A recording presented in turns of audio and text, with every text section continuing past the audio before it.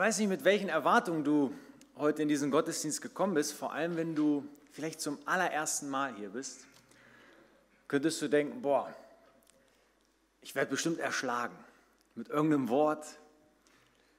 Wer weiß, was sie von mir erwarten. Mein Wunsch ist es, dass wenn du heute nach Hause gehst, egal wie lange du schon hier bist, wie oft du schon hier warst und ob du heute zum allerersten Mal hier bist, dass du merkst, Gott hat etwas zu sagen. Und es wäre vielleicht ähm, sinnvoll darüber nachzudenken, ob dieser Gott etwas mit meinem Leben zu tun haben darf. Wenn du das mitnimmst, dann bin ich schon glücklich. Friedbert hat schon eingeleitet, es ging um Größe, der Größte sein, erfolgreich sein. Da haben sie mal einen Fußballspieler namens Carlos Tevez, ein Argentinier, gefragt, sag mal, wie war das denn eigentlich, als du mit Cristiano Ronaldo zusammengespielt hast? Dieser Name sollte ein Begriff sein, dass das dieser Typ, der aussieht wie eine Statue, wenn er nackt ist, also so durchtrainiert, auch um so einen Schönling. Da haben sie gefragt, wie war das denn, als du mit ihm gespielt hast? Und da hat er gesagt, ey, nach jedem Training hast du den Typen im Fitnessstudio gefunden. Es war wie eine Sucht für ihn und er hat alles dafür gegeben, um der Allerbeste auf der Welt zu werden. Und er sagt, egal wie früh ich auf dem Clubgelände war, um zum Training zu kommen, Ronaldo war schon da.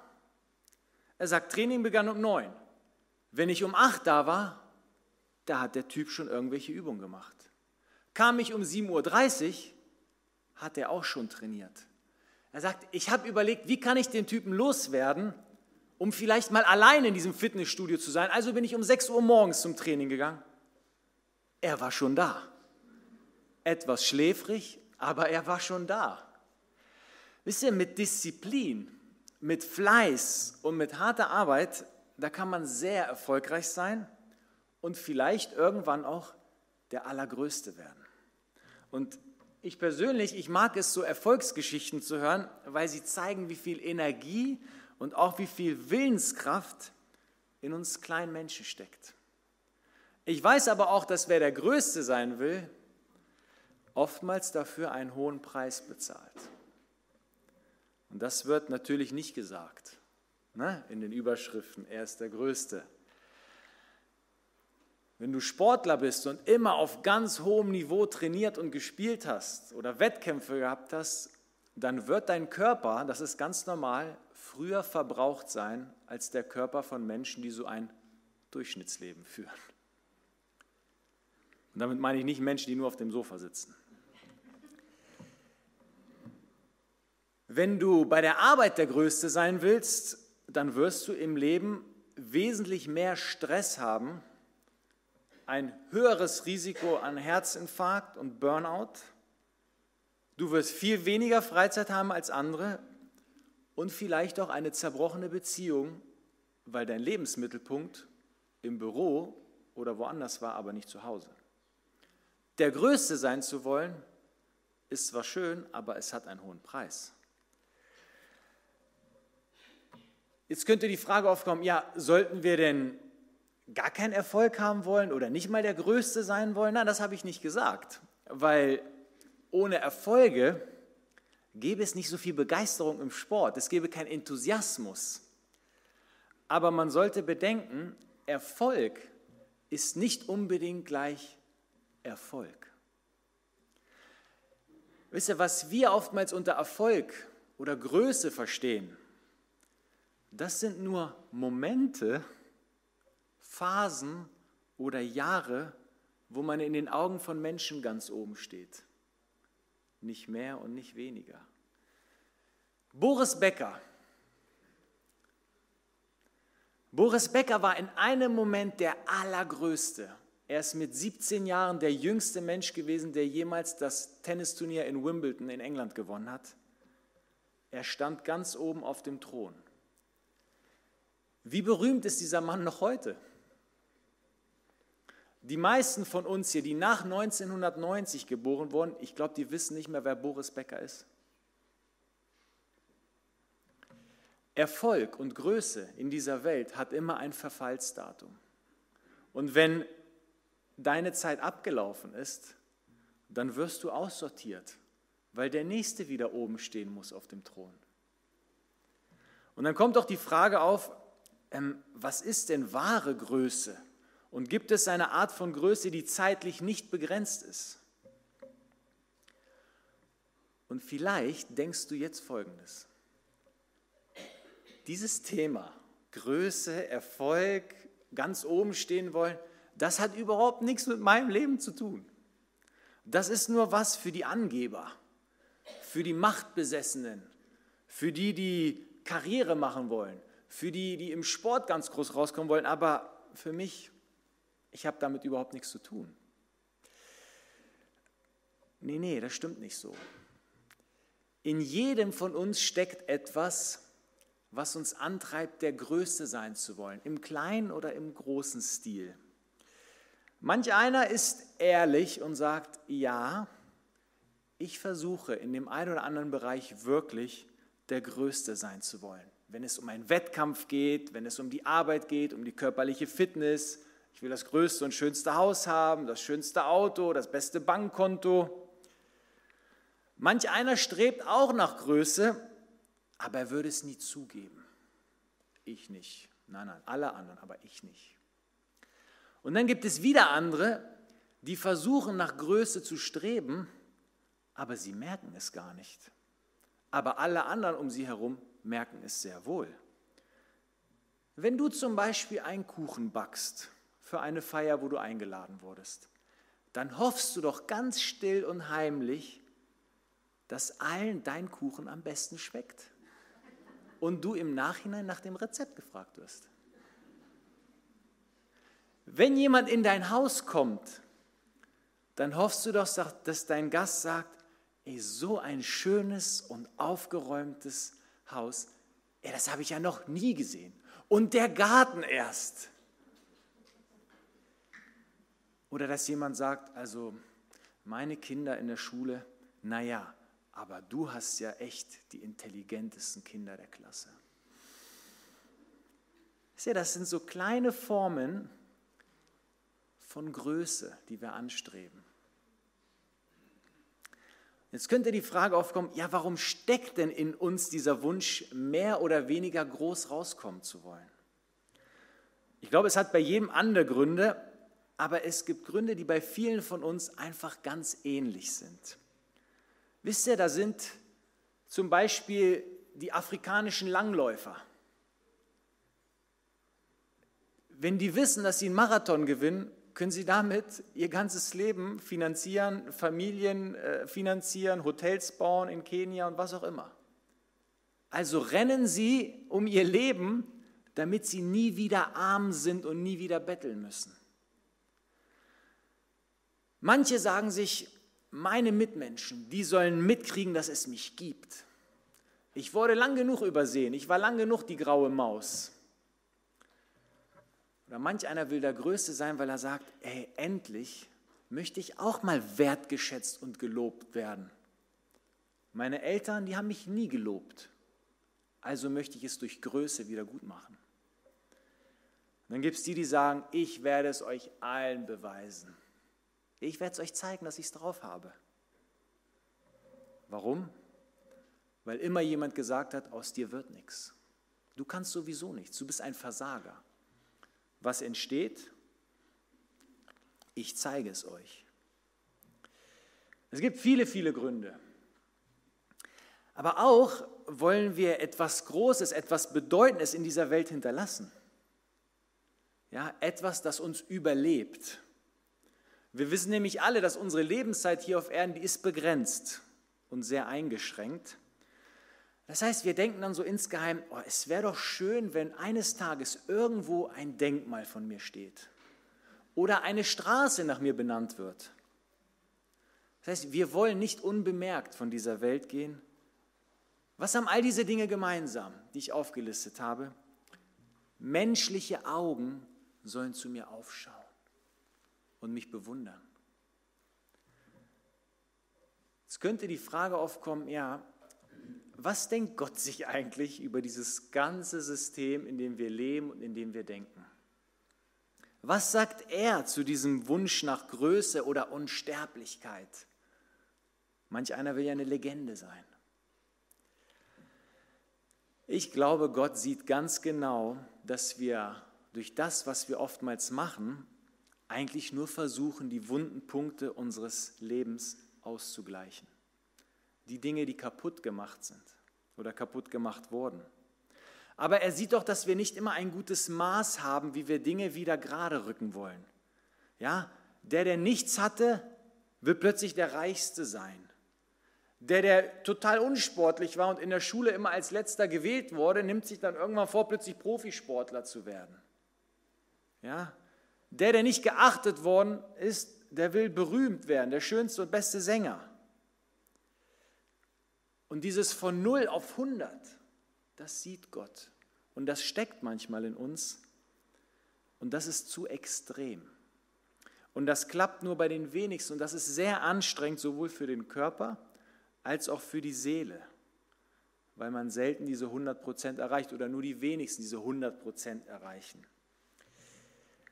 Gott sieht aber auch, dass der Wunsch nach Größe und dieses Erreichen von 100% das schenkt niemals Erfüllung in diesem Leben und das bringt niemals Ruhe und Frieden in unser Herz. Warum nicht? Heute sagt man dir vielleicht, dein Kuchen ist der weltbeste Kuchen, den ich heute je gegessen habe.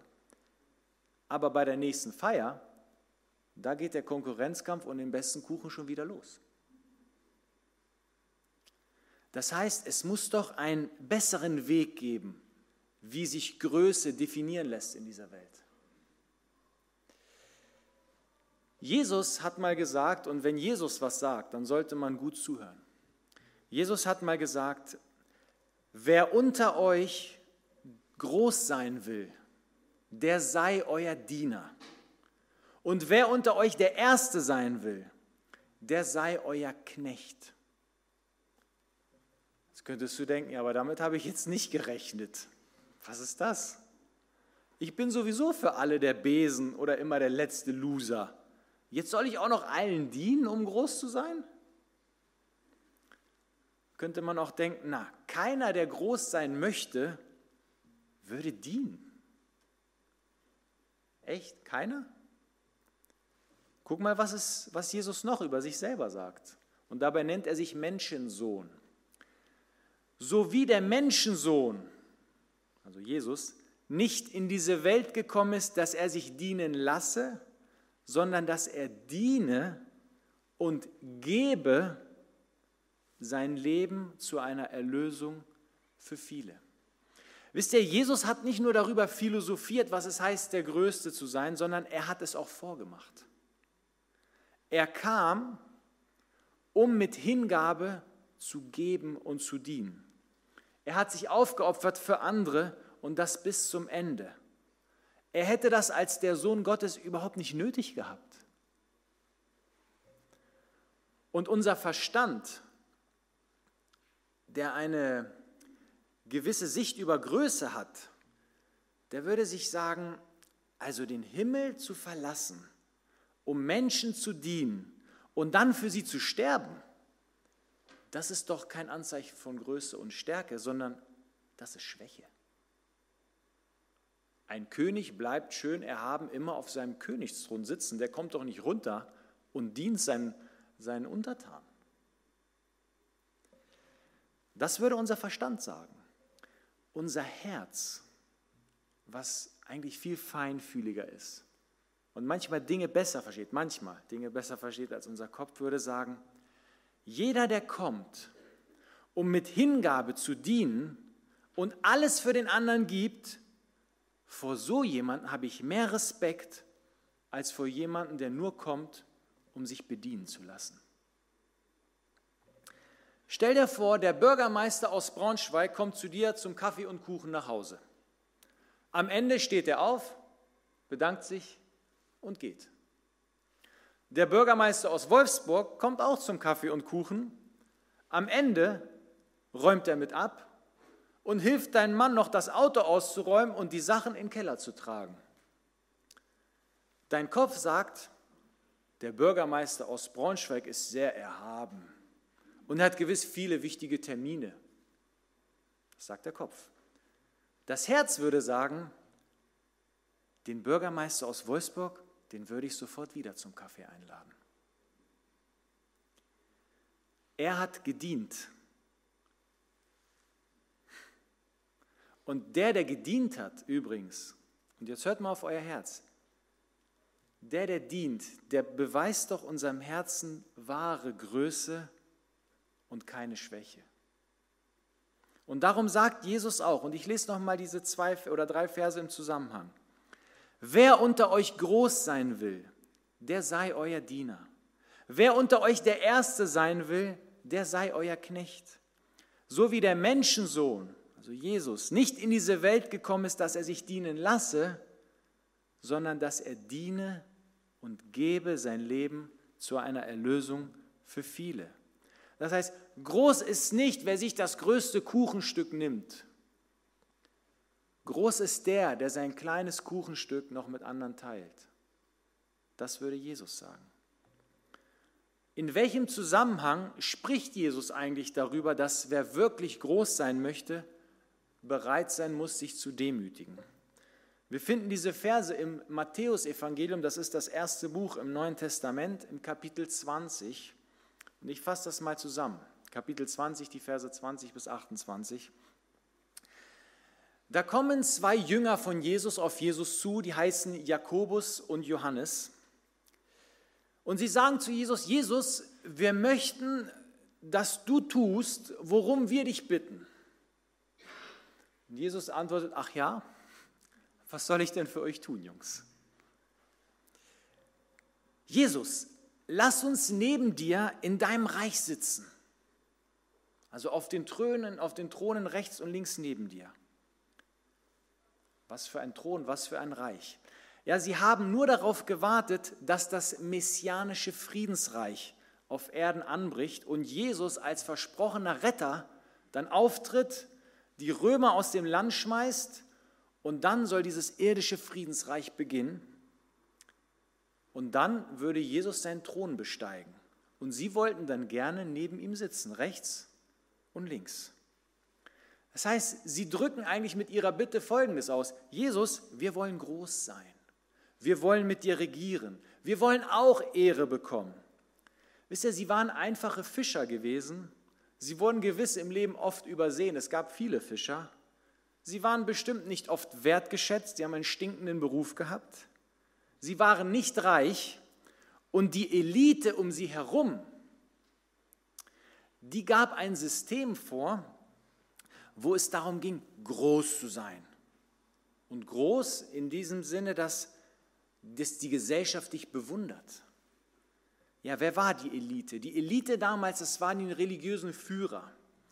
Sie wurden auf den Straßen überfreundlich begrüßt. Sie wurden bei gewissen Anlässen, wurden ihnen die besten Plätze zugewiesen. Auf den Straßen wurden sie auch mit einem Ehrentitel angesprochen. Also immer, wenn sie irgendwo vorbeigingen, dann haben die Leute sich verneigt und das hat der kleine Mann natürlich gesehen und dachte sich, oh, das möchte ich auch, ich möchte auch groß sein. Das heißt, diese Jünger, als sie gesagt haben oder als sie die Chance gerochen haben, daneben Jesus zu sitzen, haben sie gedacht, ey, es wird der Tag kommen, an dem wir auch mal ganz groß rauskommen. Und so denkt unser Verstand übrigens auch über Größe. Wer was zu sagen hat, der ist groß. Wer einen Titel trägt, der ist groß. Wer etwas Großes geleistet hat, der ist groß. Wer oft im Fernsehen ist, der hat was geschafft. Wer materiell viel Wohlstand besitzt, der ist groß. Ich frage dich ganz bewusst, wie glücklich bist du, wenn du den ganzen Tag versuchst, nach diesen Maßstäben nach Größe nachzulaufen? Wenn du versuchst, daran zu kratzen und das auch zu bekommen. Ich glaube, das ist wie wenn man versucht, den Ozean mit einem Plastikeimer in ein selbstgebuddeltes Loch reinzufüllen, sagt, ich schaffe es, den Ozean leer zu machen. Also spätestens nach einer Stunde merkst du, ich bin frustriert und du wirst nie fertig werden. Wisst ihr, wenn dieses System von Größe, dem wir nachlaufen in dieser Welt, wenn das wirklich befriedigen würde, dann müssten doch alle, die in der Öffentlichkeit stehen, ja, alle, die reich oder erfolgreich sind, die müssten doch dann immer zufrieden sein. Ja, alle Politiker an der Spitze, die müssten doch immer gut gelaunt sein. Ja, die Superstars und die Sportler aus den verschiedenen Bereichen, die müssten doch voller Glückshormone sein, den ganzen Tag. Es ist aber nicht so, weil dieses System nicht wirklich funktioniert. Es ist nur Augenwischerei. Wisst ihr, ich habe ganz bewusst in meinem Büro ein Bild hängen und das heißt der Boulevard der zerbrochenen Träume. Und wisst ihr, wer da sitzt in einem Café total depressiv und niedergeschlagen? Elvis Presley, James Dean, Frank Sinatra, Marilyn Monroe. Die sind fertig auf diesem Bild. Und wenn die Zeit des Ruhmes vorbei ist, wenn du gebeten wirst, von der großen Bühne des Lebens abzutreten, dann wird es plötzlich ganz dunkel und der Fall ist sehr tief. Wieso also nicht mal dieses Wertesystem Gottes ausprobieren? Wer groß sein will, soll sich klein machen. Und ich sage euch eins, wenn man unten dient, dann kann man nicht so tief fallen. Und wenn man sich selbst als Diener sieht, dann kann man auch nicht so oft enttäuscht werden. Weil wenn man sich als Diener sieht und auch wie ein Diener mit Füßen getreten wird, dann wird man sich sagen, ist doch normal, was passiert. Wenn man sich aber selber als König sieht und dann mit Füßen getreten wird, dann wird man sehr verletzt sein, weil man denkt, eigentlich müsste man mich besser behandeln. Nein, wenn du von dir sagst, ich bin ein Diener, ein Mensch nicht wie ein Diener behandeln, wirst du sagen, ja, so ist es. Und du wirst trotzdem zufrieden sein. Es klingt total absurd, was Jesus sagt. Ja, wenn du groß sein willst, musst du dich klein machen. Aber ist es wirklich so verrückt, was er sagt? Ich glaube, wenn man bereit ist zu dienen, die kleinen Dinge zu tun und dann auf Menschen trifft, die aufrichtig sind, die werden dir echte Wertschätzung entgegenbringen. Wenn du ganz oben stehst in den Augen der Menschen, dann weißt du nicht mal, wer wirklich deine Freunde sind. Wer nur dein Bestes, also deine Knete will oder wer wirklich an dir interessiert ist. Und wisst ihr, wie viele Menschen, die ganz oben stehen, genau damit zu kämpfen haben? Als Boris Becker ganz oben war, wisst ihr, was er gesagt hat? Da oben war keiner mehr. Erfolg und Größe kann sich manchmal sehr leer und einsam anfühlen.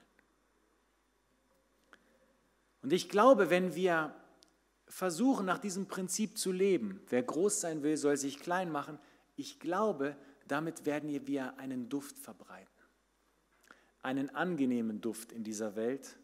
Und wir werden auf den hinweisen, der uns dieses neue Wertesystem in unser Herz gepflanzt hat.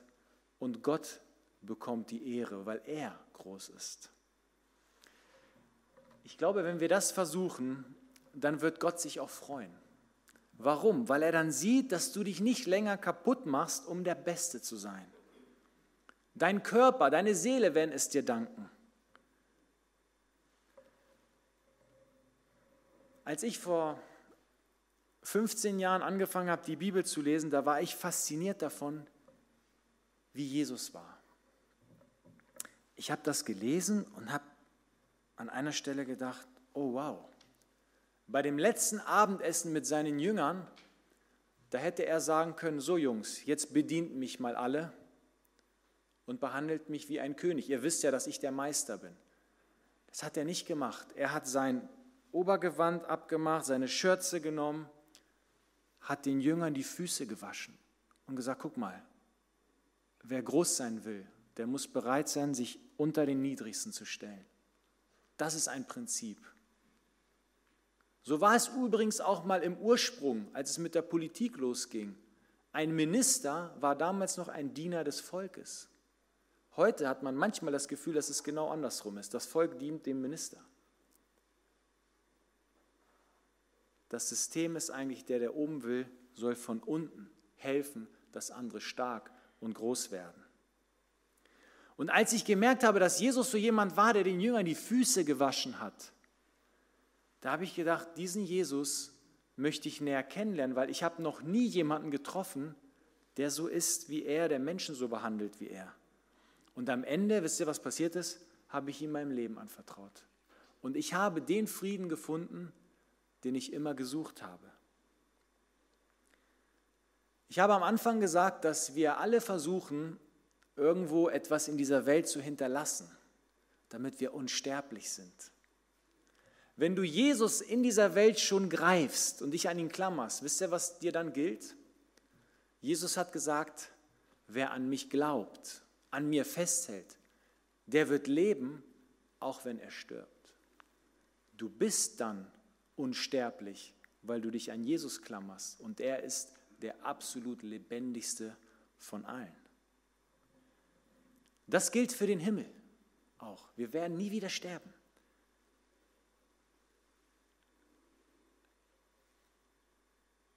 Aber willst du auch in dieser Welt etwas hinterlassen, was dich überlebt, dann mach dich klein. Und die Menschen werden es nie vergessen. Du könntest denken, ja, aber ich kann gar keine großartigen Dinge vollbringen. Musst du doch gar nicht. Es reicht doch, wenn du die kleinen Dinge großartig machst. Eine Frage an euch, die ihr geschichtskundig seid. Wo sind heute die Fanclubs von Caesar, Alexander dem Großen oder Napoleon? Wo sind die ganzen Fanclubs? Diese Männer waren große Männer in dieser Welt. Von ihnen sind ein paar Statuen und Denkmäler übrig geblieben, wo heute die Tauben drauf sitzen und ihre Geschäfte drauf verrichten. Aber zur Ehre von Jesus, der gekommen ist, um zu dienen, feiern heute noch Millionen Menschen auf dieser Welt Gottesdienste, so wie wir heute. Seine dienende, gebende Art, sein Denken und sein Reden haben die Herzen auf der ganzen Welt durchbohrt und auch wieder heil gemacht. Er braucht kein Denkmal oder eine Statue. Wisst ihr warum? Weil er in den Herzen der Menschen lebt und da kann ihn keiner rausschmeißen. So falsch kann also das, was Jesus uns beibringen möchte, gar nicht sein, oder? Jeder noch so scheinbar kleine direkte Dienst am Menschen ist wertvoll und zeigt der Welt, du hast ein anderes Wertesystem. Und auch jeder noch so kleine, ungesehene Dienst hier für deine Kirchengemeinde, wo Menschen mit Jesus in Verbindung gebracht werden, jeder noch so kleine Dienst wird die Welt verändern und Auswirkungen bis in die Ewigkeit haben. Und deswegen danke ich dir im Namen von Gott und im Namen der Gemeindeleitung, dass du dich hier einbringst. Danke, dass du deine Kraft und deine Hingabe investierst, Woche für Woche für Woche. Das ist nicht umsonst, was du tust. Es sind kleine, großartige Dinge. Und wenn du vielleicht noch keine Aufgabe gefunden hast, noch keinen Dienst, wo du sagst, ich kann hier mein ganzes Talent, meine Kraft einbringen, ich möchte aber so gern, dann komm doch auf mich, auf Jürgen oder wie er hier ein bisschen was leitet. Komm auf uns zu. Wir finden schon eine Aufgabe für dich. Also danke und macht weiterhin mit. Wie dieser kleine Junge, der von sich wahrscheinlich dachte, ich habe gar nicht so viel, was ich zu geben habe. Aber er hat in seinem kleinen dreckigen Rucksack noch fünf Brote und zwei Fische übrig. Und es gab eine ganze Menge an Menschen, vielleicht waren es circa 20.000, die hatten an einem Tag, die hatten nichts mehr zu essen. Und die Jünger haben sich gefragt, wie sollen die denn jetzt alle essen? Wer tut denn jetzt hier was Großartiges? Wie soll das denn laufen? Und der kleine Junge hat gesagt, ich habe noch fünf Brote und zwei Fische. Und hat, dann hat er dieses kleine bisschen, was er hatte, in die Hände von Jesus gegeben. Und Jesus hat alle 20.000 satt gemacht und es ist noch übrig geblieben. Deine Kleinigkeiten werden in Gottes Händen ganz, ganz groß. Und wenn du das tust und nach diesem Prinzip lebst, dann wird diese Welt nach und nach mehr und mehr nach Jesus riechen. Und du machst deinen Mitmenschen damit das größte Geschenk, was du jemals machen kannst. Und du gibst Gott die Ehre, die ihm zusteht. Amen.